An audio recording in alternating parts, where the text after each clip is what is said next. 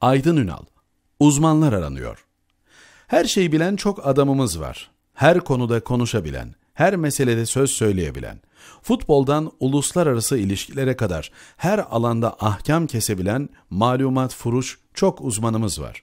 Ne iş olsa yaparım abi tadında çok allameye sahibiz. Ama tek bir şeyi, bir konuyu, bir alanı bilen, hem de derinlemesine, bütün efradıyla, bütün ayarıyla bilen çok az adamımız var.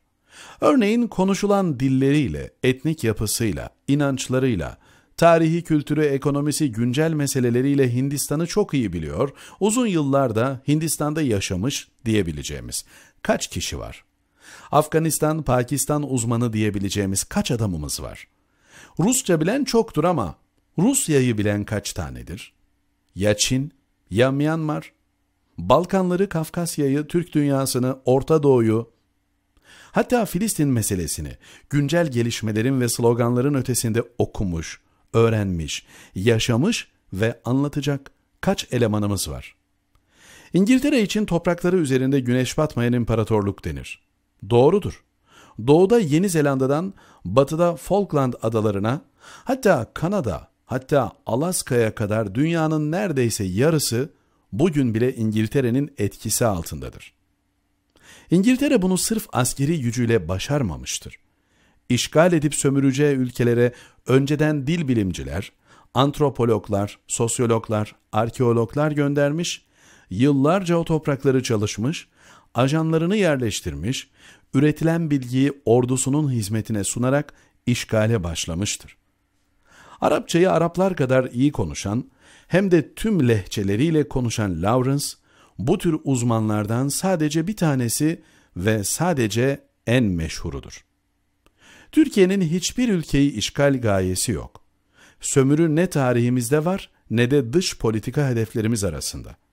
Ancak eğer bir ülkeyle, bir bölgeyle iyi ilişkiler kurmak, dostluğu, barışı artırmak, ticaret hacmini yükseltmek istiyorsak, yumuşak güç denilen dil, kültür, yardımlaşma faaliyetlerini yaygınlaştırmak istiyorsak, adama, daha çok adama ihtiyacımız var. Şimdi bu meselede de bir tayfa çıkıp 15 yıldır ülkeyi yönetiyorsunuz, adam yetiştirseydiniz diyecektir. Maalesef adam kıtlığı ve sığlık en çok da muhalefete tecessüm ediyor.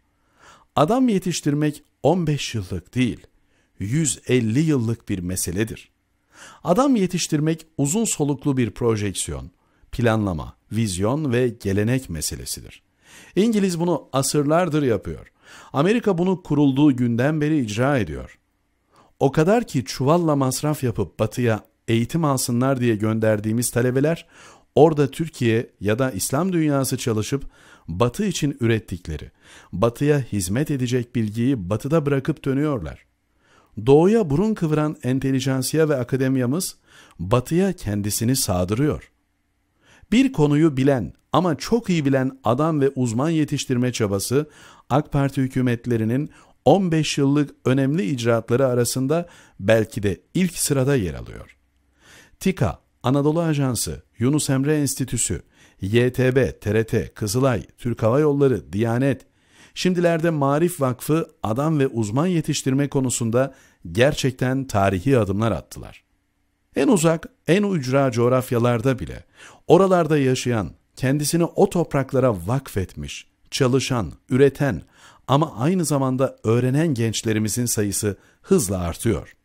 Bu yetişmiş, yetişmekte olan uzmanların Türkiye'nin dış politikasına etki edecek şekilde istihdamlarında bir kopukluk var. Ama yolun başındayız. İnşallah o da olacak. Tayin beklemeden, yolun sonunu gözlemeden, ricat gemilerini yakarak kendisini yaşadığı yere adayan insanların bilgi ve birikimi inşallah monşerliğe de galebe çalacak. Adam yetiştirme meselemizin FETÖ ile mücadelenin ve Batı ile gerilimin başlangıç noktası olduğunu da unutmayalım. Fethullahçılar Türk ve Müslüman gibi görünerek 1980'lerden bugüne dünyanın birçok ülkesinde faaliyet gösteriyorlar. Artık çok net biliyoruz ki Türklükle de Müslümanlıkla da uzaktan yakından ilgileri yok.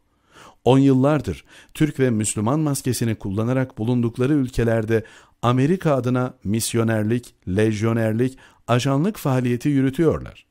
Sahada edindikleri tüm bilgi ve tecrübeyi İslam coğrafyasının zapturaptı için Amerika'nın hizmetine sunuyorlar. Bir kişi Fethullahçı olduğu anda anne babası gibi milliyetini de kapının dışında bırakır. Amerika milliyetçisi olur. Bir keşiş gibi ruhunu, bedenini artık Amerika'ya adar. Fethullahçıların büyük bir kurnazlıkla alanı Amerika lehine kapatarak 40 yıl boyunca Türkiye'nin adam yetiştirmesini engellediler. Hem alanı kapattılar hem de Türkiye'nin dış politikasını, yumuşak güç imkanlarını kilitlediler. Binlerce genci de bu aşağılık projede heba ettiler. Recep Tayyip Erdoğan bunu gördüğü için içeride ve dışarıda Fethullahçıların işgal ettiği alanlara Türk ve Müslüman adamlar yetiştirme, yerleştirme yoluna gittiği için bütün bu saldırılara maruz kaldı ve kalıyor. Batı kendi lejyoner ve ajanlarına dokunduğu için Erdoğan'dan haz etmiyor. Çirkin projelerine çomak soktuğu için ondan kurtulmaya çalışıyor. Çok ama çok uzmana ihtiyacımız var. Her konuyu bilen değil, bir konuyu bilen, hem de iyi bilen çok adama ihtiyacımız var. Ülkeler, bölgeler kadar güncel iç sorunlarımıza da vakıf uzmanlara ihtiyacımız var. Bilgiyi, tecrübeyi, uzmanlığı politikaya tahvil edecek bir vizyona ve koordinasyona da ihtiyacımız var. Daha yolun çok başındayız. Ama elhamdülillah en azından başladık. Erdoğan 100 yıl sonra da adam gibi adam olarak anılacak.